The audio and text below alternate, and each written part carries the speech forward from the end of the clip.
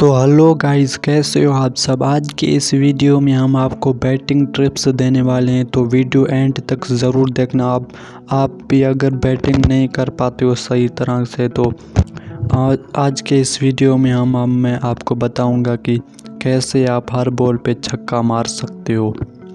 ठीक है गाइस, आपने अगर डिफ़िकल्टी मीडियम ही रखना है, क्योंकि हार्ड पे इतना मतलब कि हार्ड पे इतना शॉट नहीं लगते, ठीक है ना? तो आप मीडियम ही रखना डिफ़िकल्टी बैटिंग तो पहली बॉल यहाँ पे देखते हैं अच्छा शॉट मारा है और यहाँ पे पहली बॉल पे आपने देखा छक्का मार, मारा है शुमन गिल ने।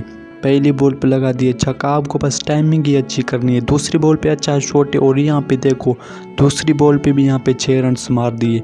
टाइमिंग सिर्फ़ अच्छा करो, सही है ना? एक चक्का लग चुका है, लेकिन और मैंने आधा काट दिया तो इसलिए ठीक है ना? तो दूसरी बॉल, यहाँ पे दो दो छक्के लगा दिए मैंने, ठीक है ना? आपको सिर्फ़ टाइमिंग ही अच्छी करनी है, और यहाँ पे देखो ये तीसरा छक्का ये देखो, तीसरा छक्का भी मिल चुका है। आपको सिर्फ़ टाइमिंग अच्छा करना है, सही है ना? बॉल ये देखो बॉलर के साथ लड़ रहा है। और यहाँ पे भी देखो, और यहाँ पे भी छः रन से ही मिलेंगे। आपको सिर्फ़ टाइमिंग अच्छा करना है। इस तरह आप भी बैटिंग कर सकते हो गाइस ये देखो, यहाँ पे भी अच्छा शॉट है और यहाँ पे भी चार रन से ही मिलेंगे। आपको सिर्फ़ मैं मैं बोल रहा हूँ, आपको सिर्फ़ टाइमिंग ही अच्छा करना है। ये देखो स्पिनर को भी मार देगा स्पिनर को भी ये कूट देगा, भाई साहब। यहाँ पे भी देखो स्पिनर के एक चक्का स्पिनर को लग चुका है, ये ये दूसरा होने वाला है। नहीं, यहाँ पे चार रन मिलेंगे, लेकिन बैटिंग अच्छी हो रही है, ठीक है ना? आप ये ट्रिक्स अपना सकते हैं, सही है।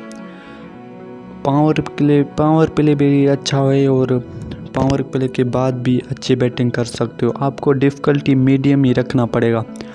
और ये देखो शुमन गिल के पचास रन भी पूरे हो गए। सिर्फ़ और सिर्फ़ पंद्रह बॉलों पे। आप इस तरह बैटिंग कर सकते हो गाइस और दूसरे वाली टीम को मतलब मार दे सकते हो। और यहाँ देखो, ये भी चौका चला जाएगा। बैटिंग अच्छी हो रही है, आपको सिर्फ़ टाइमिंग अच्छा करना है और डिफ़िकल्टी जो है ना वो मीडियम रखना है। और यहाँ पे देखो ये छक्का लग चुका है, एक और छक्का लग चुका है। ये देखो, ये लास्ट वाला छक्का और ये देखो। भाई साहब, आप हर बॉल पे आप छक्का मार सकते हो, आपको टाइमिंग अच्छा करना है और दूसरी बात, आपको डिफ़िकल्टी मीडियम ही रखना है। तो चैनल पे नए है तो सब्सक्राइब कर देना वीडियो को लाइक